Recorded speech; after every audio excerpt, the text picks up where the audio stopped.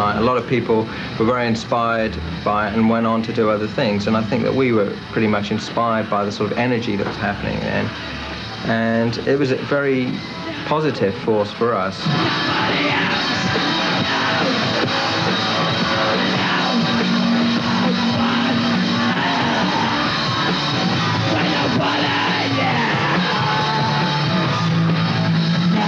But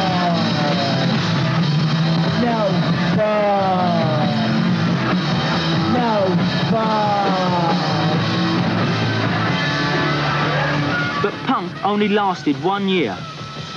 Unlike rock and roll in the 50s and modern beat in the 60s, punk never became a best-selling style of music.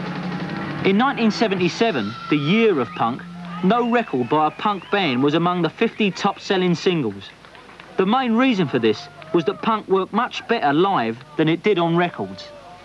So what it, you must have been asked a million times, what does it feel like to have been Johnny Rotten and the Sex Pistols now? Is it a memory? Is it a...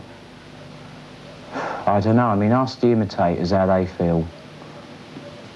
To me, it didn't mean too much. I just thought it was a joke. Could you look around and see yourself ending up, say, like the Clash have, like on this endless spiral? God only knows. I hope not. Were you the only one with ambition then? Because the other geezers in it, I mean, they seem to be lost. Uh, How much ambition are you have you got? talking about? Well, Stephen Paul, obviously not Stephen.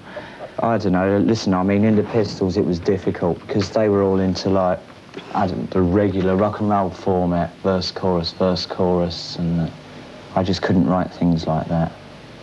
It worked for the time, though, didn't it? It worked, yeah, for a bit. And then Malcolm like, began to take it all just too serious. Joe, everyone thinks of you as well as being the musical force behind the Sex Pistols. I had nothing to do with the music of that band. I just wrote the words.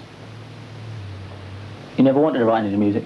No, not not the way they were doing it. My ideas were totally different.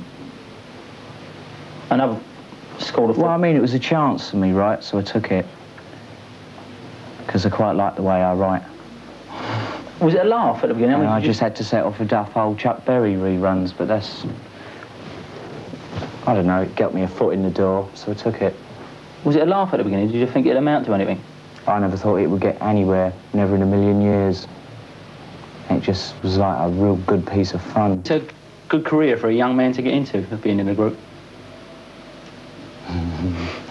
No, I could do without the competition.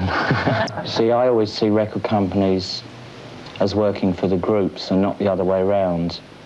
Uh, unfortunately, the other way around does seem to be the scheme of things.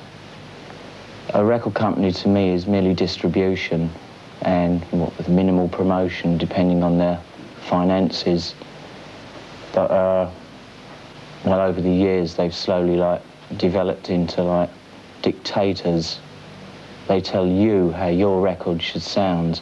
That's why they insist on managers and promoters and all those middlemen that confuse you to keep you as far away from the like realities of it as possible. So do you think And that's, that's something I've always like not liked. Do you think it's possible to make a record company work for you? Can you do it on your own?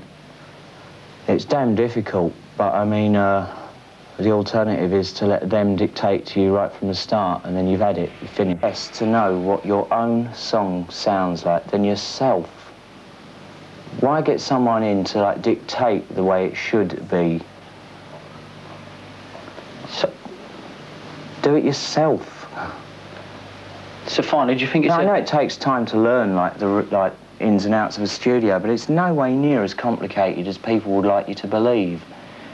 I mean, like when you see it first, like this big desk with just a million knobs, it doesn't mean anything. All it is is just a load of channels, all identical. And like what you've got, bass, high bass, low bass, treble, this, that, and the other, echo. Once you've understood that, anyone can do it. It's the same as the controls on an amplifier.